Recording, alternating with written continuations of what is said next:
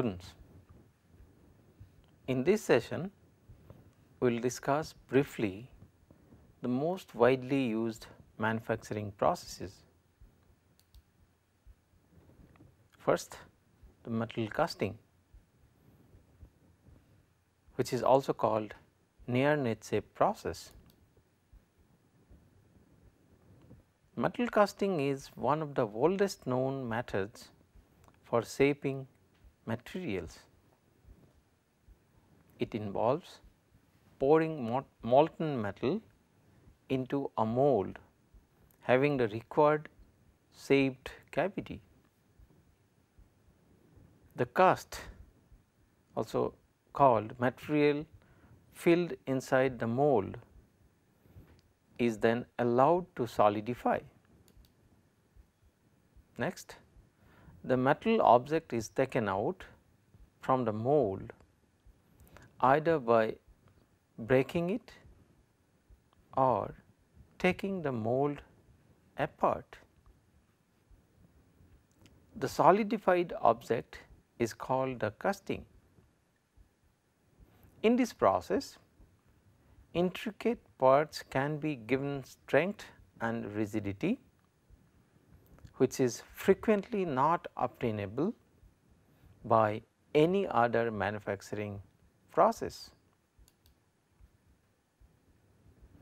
Major casting processes are sand casting, permanent mold casting, continuous casting, die casting, slush casting, centrifugal casting, evaporative pattern casting, lost wax casting, shell molding, vacuum sealed molding etc. Molding Molding is commonly used term in plastics which is also a net shape process.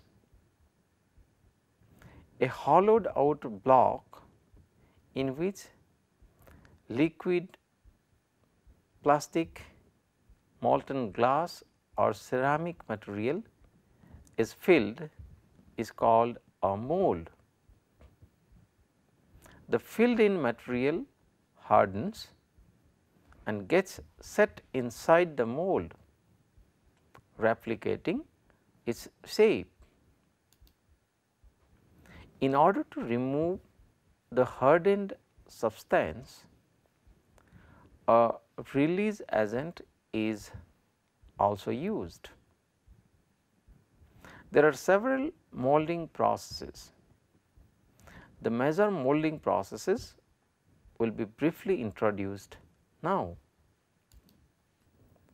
hot compression molding, transfer molding, injection molding, extrusion molding, laminating, vacuum forming, expandable bead molding. Then comes to metal forming which is also a net shape process. Metal forming is a process which involves shaping of materials in a solid form. It can be defined as a bulk deformation process that induces change in shape under the applied force. Classification of metal forming processes. Metal forming is basically grouped into two types namely hot forming and cold forming. Hot forming is the process which is performed by heating the metal above its recrystallization temperature. The recrystallization temperature is the temperature at which new grains start forming replacing the older grains. It is generally between 0.3 to 0.5 times the melting temperature of any material. Hot forming reduces the material's yield stress, so that its shape can be easily changed or formed by applying laser forces.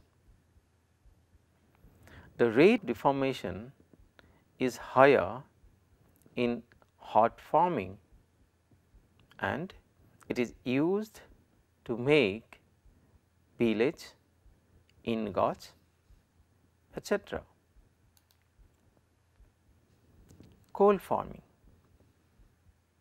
Cold forming is performed by heating the metal below its recrystallization temperature. It requires higher mechanical forces, stronger equipment and tooling in order to withstand the larger applied forces.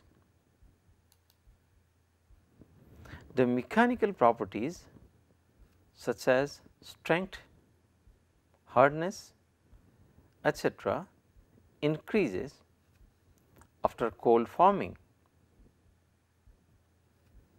The voids and vacancies get narrowed due to applied forces.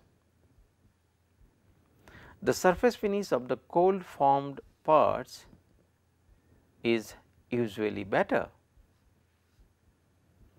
The equipment and tooling costs in cold working are comparatively higher than hot forming. The major metal forming processes include Smith forging. The example is goldsmithy and blacksmithy works and the product example can be an axe. Drop forging which is used to make hand tools like spanners. Next process is extrusion. It is a metal forming process of extruding the material from a shaped die. A finished product can be produced using this technique. The product examples include channels, bars, tubes, gears, etc. Drawing. Drawing is an operation in which the cross section of solid rods where or tubing is reduced to change in shape by pulling it through a die. Drawn rods are used for shafts, spindles, small pistons and as a raw material for fasteners such as rivets, bolts and screws.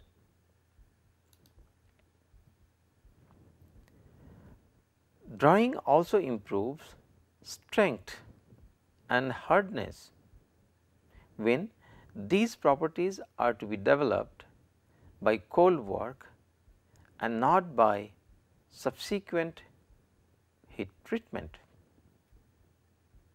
In this process, a set of die is placed through which the material to be drawn are pulled through by applying certain force.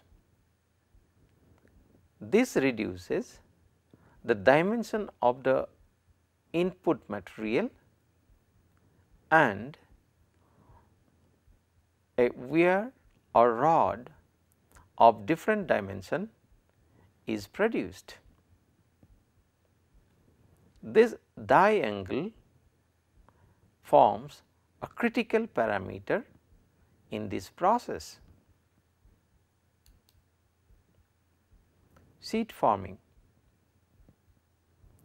Sheet forming in general can be done by hot or cold working. Desks, file cabinets, car bodies, beverage cans etc., are some examples of sheet formed products.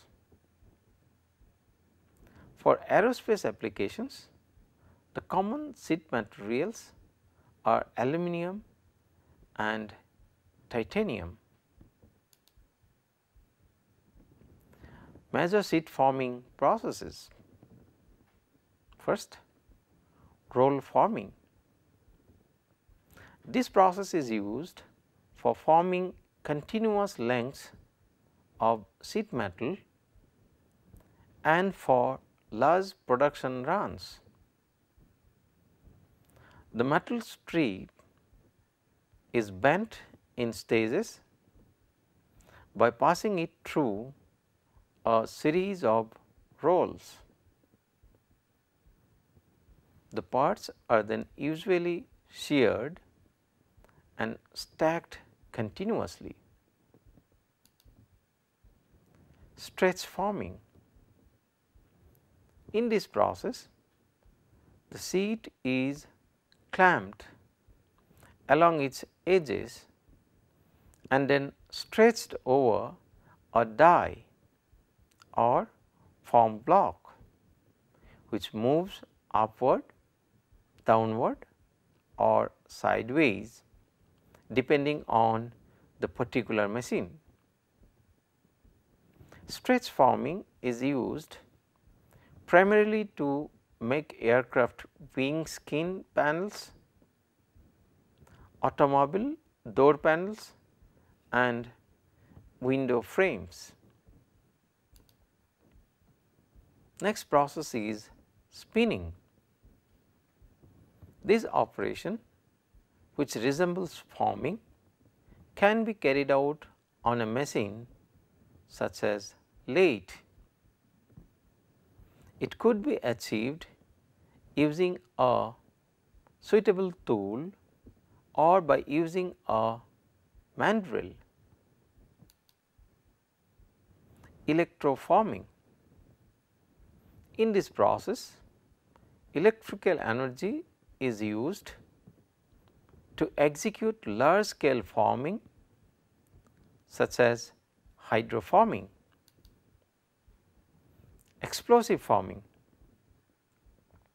In explosive forming, controlled explosive reactions enable the forming in sheet metals and other metallic products where the rate of deformation is high. Press working. Press working is a chipless manufacturing process by which various components are made from sheet metals. It is also called cold stamping process. Press is a machine in which there are two or more slides which move relatively to compress the material in the desired shape. Different types of presses are used for various applications such as paper trimming, wood ply or woodworking, sheet metal cutting, bending, deep drawing etc. Then different types of presses are classified based on source of power. For example, mechanical, electrical, hydraulic, pneumatic etc. Then can be also classified based on method of slide actuation for example, crankshaft, eccentric, cam type or rack and pinion type. Presses can also be classified based on number of slides. For example, single, double, multiple. Then presses are also classified based on type of frame. For example, solid frame, C frame, movable frame, tie rod, etc. They are also classified based on the purpose and end uses. Then press working products, blanking. Blanking is an operation in which the blank obtained is the desired product. The rest portion is discarded.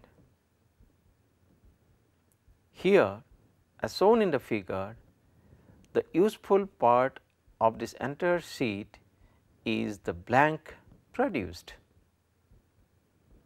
In contrast, in piercing process, the sheet with the hole is considered as the useful product. The corresponding metallic part produced as result of producing this hole is now discarded. Thus, the sheet with the pierced hole becomes the useful part. Example for this process is a washer is made by blanking and punching or by the combination of the processes at a time. Perforating a sheet with a patterned multiple holes made in a single press stroke is as shown. The sheet is perforated in a particular pattern. Next process is embossing. It is a process for making impressions. For example, coins or embossed sheets. Bending. This process is used for making bends in sheet metal, rods, channels, etc as per the requirement on a press. Notching notches are made as required basically in a sheet metal. So, here this is the sheet metal in which notches of the desired dimension are made. Another process is nibbling. A designed profile for example, a shaving blade's internal profile is made using this process. This profile is tiny at the same time bit complex. This is the process which is most suitable to carry out this manufacturing. Cup drawing. This operation is done on a press. A round sheet metal blank is placed over a circular die opening and held in place with a blank holder. The punch travels downward and it forces the blank into the die cavity forming a cup. Depending on the diameter to length ratio, the operation is categorized as shallow drawing when the L by D ratio is less than 1 or deep drawing in which length to diameter ratio is greater than 1, where L is the length and D is the diameter of the draw. Let us move on to material removal processes also known as subtractive processes or we call as machining processes. Material removal or machining processes are called subtractive processes. In this process, the excess material is removed to give the final shape to the product and are often termed as secondary or machining processes. The processes which are used to obtain the required finish or tolerance to the end product are also termed as finishing processes. This means that in both the cases that is either removal of material or finishing of part, the product to be cut or finished is made by some other processes described earlier. At instances, if the product geometry is very complex, a combination of different processes are used to make the final part. Some examples of metal removal or machining processes are milling, turning, drilling, broaching, shaping, planing, honing, etching, grinding, abrasive flow machining, abrasive jet machining, water jet machining, electron beam machining, laser beam machining etc. Let us move on to joining processes which are also called additive processes. There are three basic methods of joining material together. Number 1 using fasteners like rivets, screws, bolts and nuts etc. Number 2 adding low temperature bonding material in between like in brazing and soldering and number 3 fusing the material together. These have properties similar to the base metal and considered as permanent joints. Welding out of the above three categories, the most popular method is welding in which materials are joined permanently.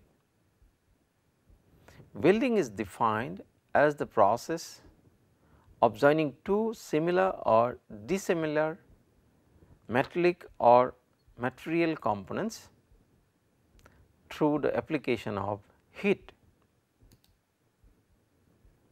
In welding, filler material can be used and pressure may be applied as per the necessity.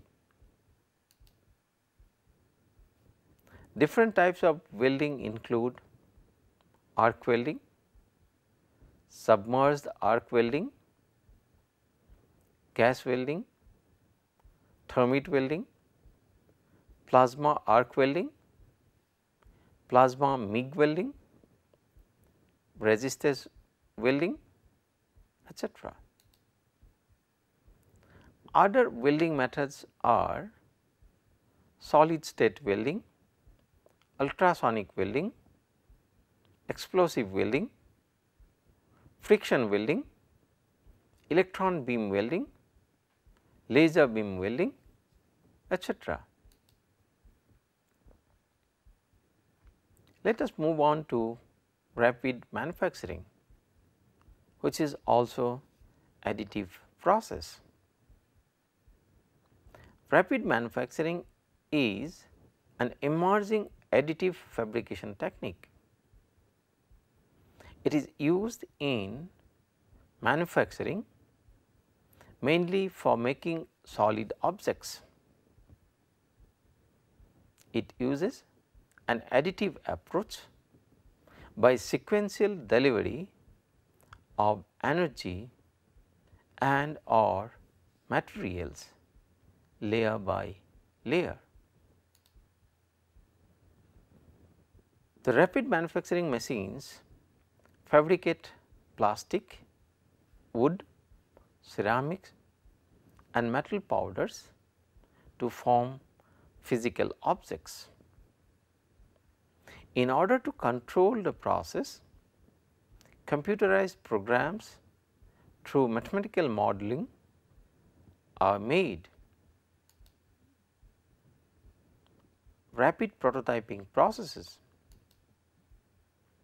In rapid prototyping, fabrication of a physical three dimensional part of any arbitrary shape is carried out directly from a CAD database by a quick, highly automated and totally flexible process.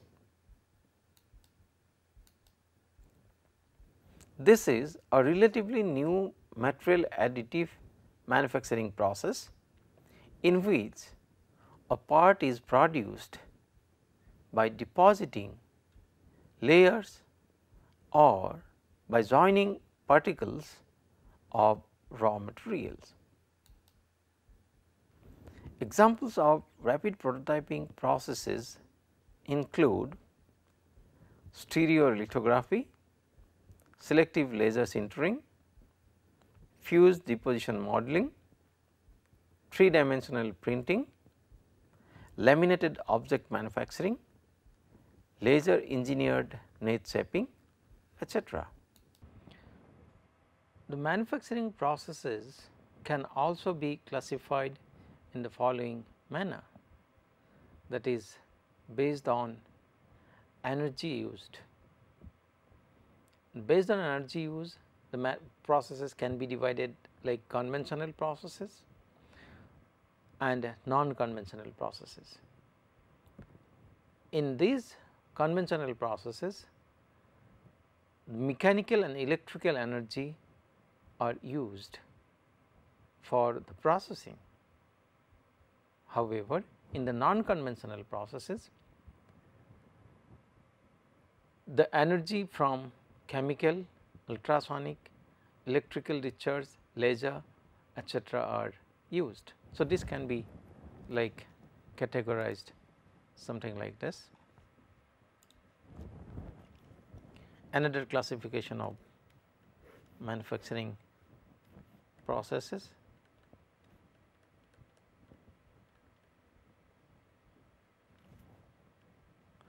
So, this is conventional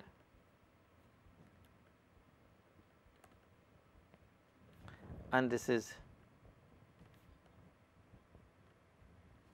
non conventional. So, this is based on we can say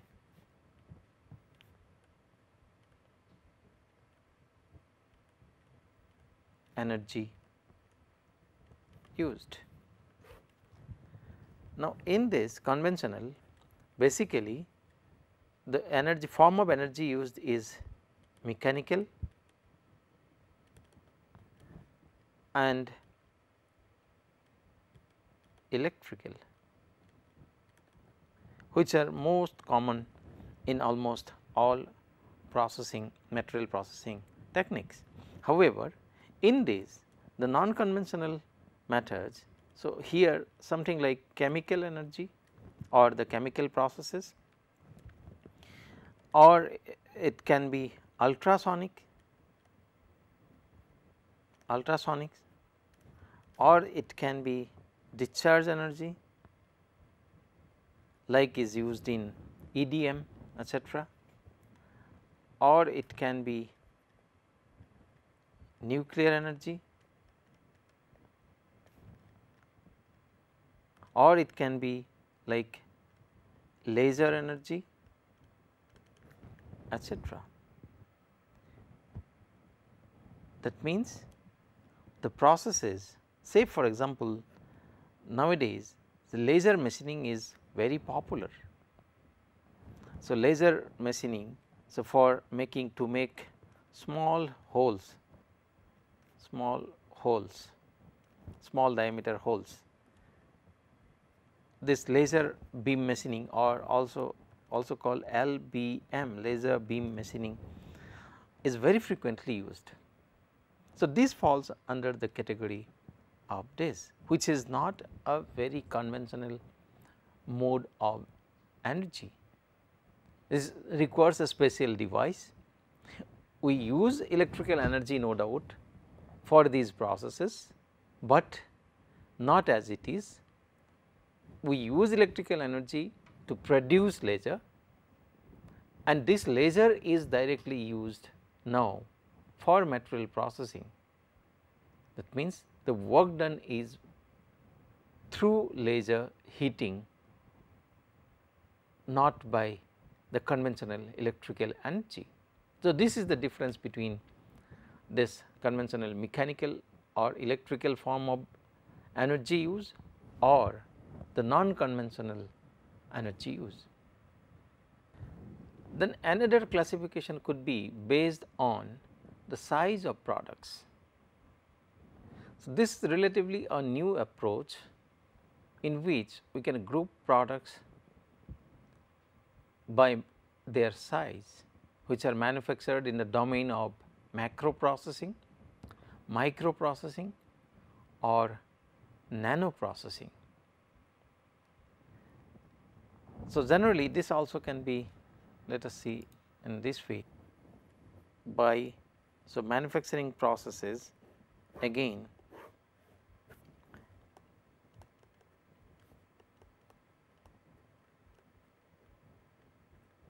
manufacturing processes. So, this is this can be as say macro then micro and then nano. So, this is based on based on size of products being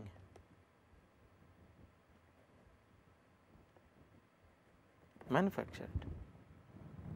Now, the most of the products we see or we use in general are in the macro domain, but micro domains there are certain products like powder most of the powder materials. So, these and nowadays the even the electronic components.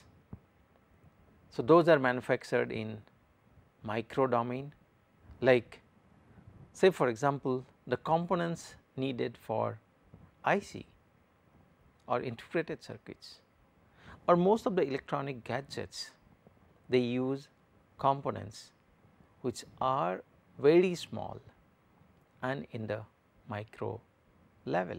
So, these are also being produced. Now,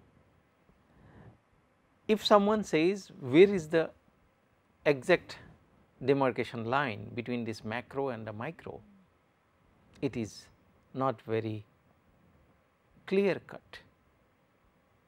But from our experience, we can generally say the micro is in the domain or where the size is in and around 1 micron or some researchers say that if the machining produces the chip which is produced uh, which is in the size of 1 micron. So, that can be called as micro machining. So, is the case with which is the micro component. So, a clear cut definition is yet to be evolved. However, like MEMS micro electromechanical systems. So, there are number of components mechanical components are also there say gears may be there some uh, channels may be there. So, the sizes of these may not be very clearly defined, but in a relatively very small domain which we can comfortably call as micro domain. So, is the case with this nano. Generally in the nano scale the sizes or the size or the components or the products that fall in the nano category or nano size, nano scale can be considered as the nano domain.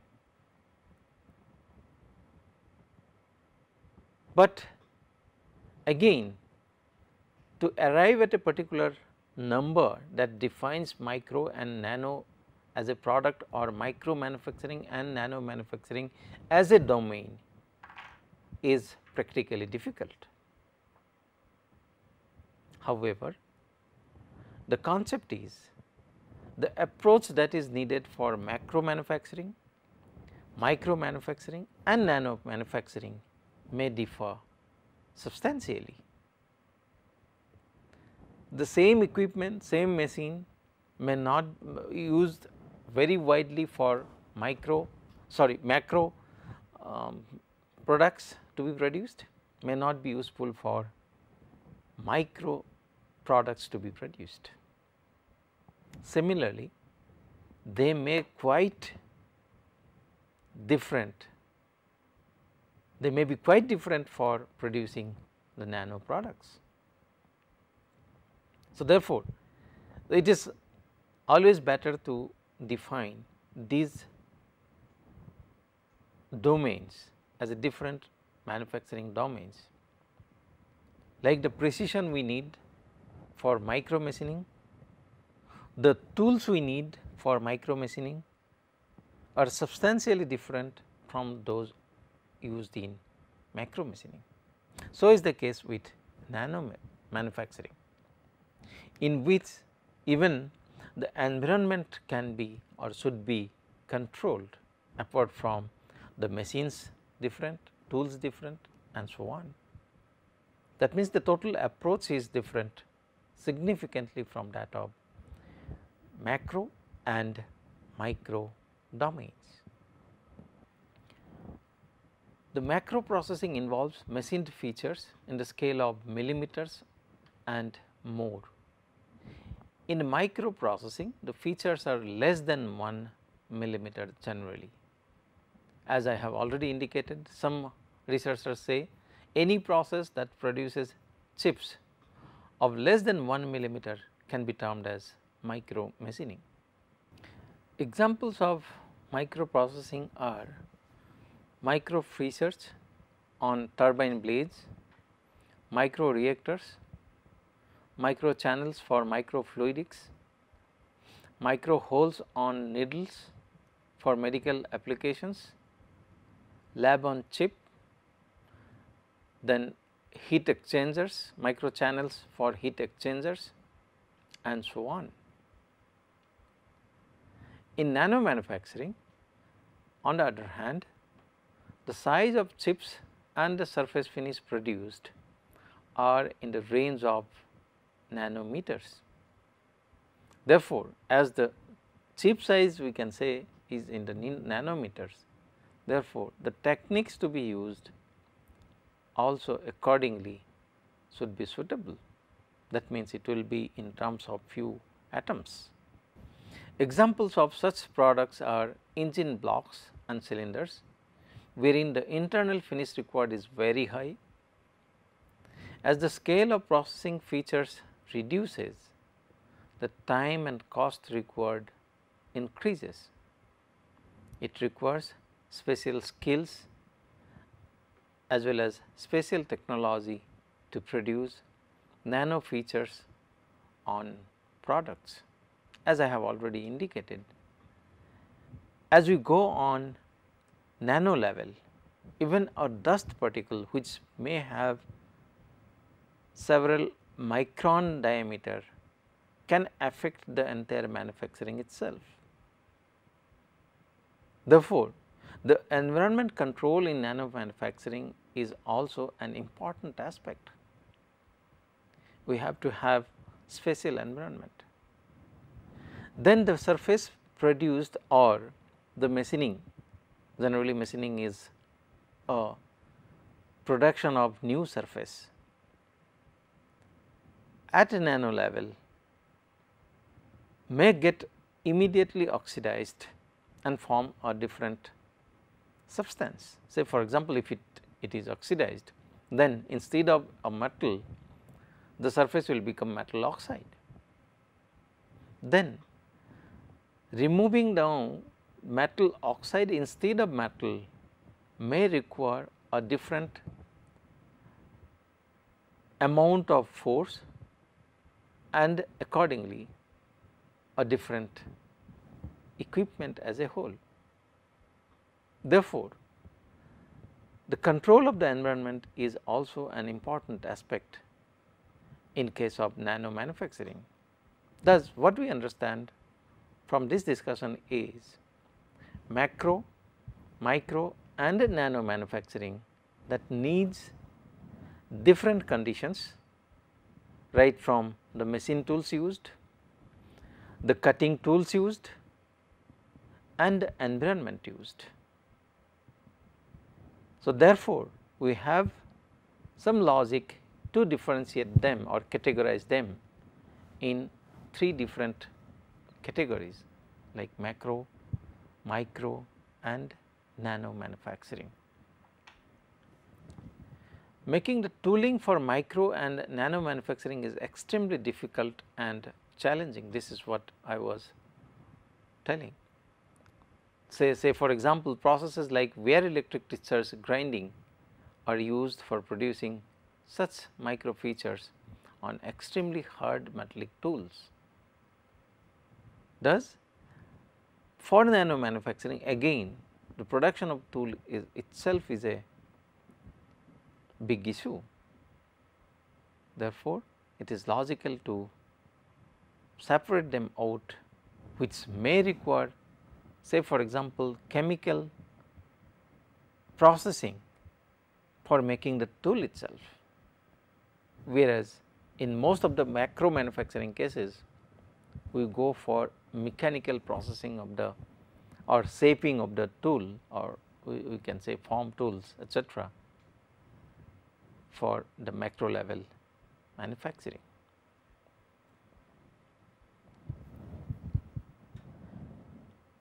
In the end, let us summarize what we have discussed in this session. In this session, we have discussed about different categorization of manufacturing processes, different approaches towards categorization we have seen based on different aspects based on energy used and based on the size of the products and so on. We hope the session was informative and interesting. Thank you.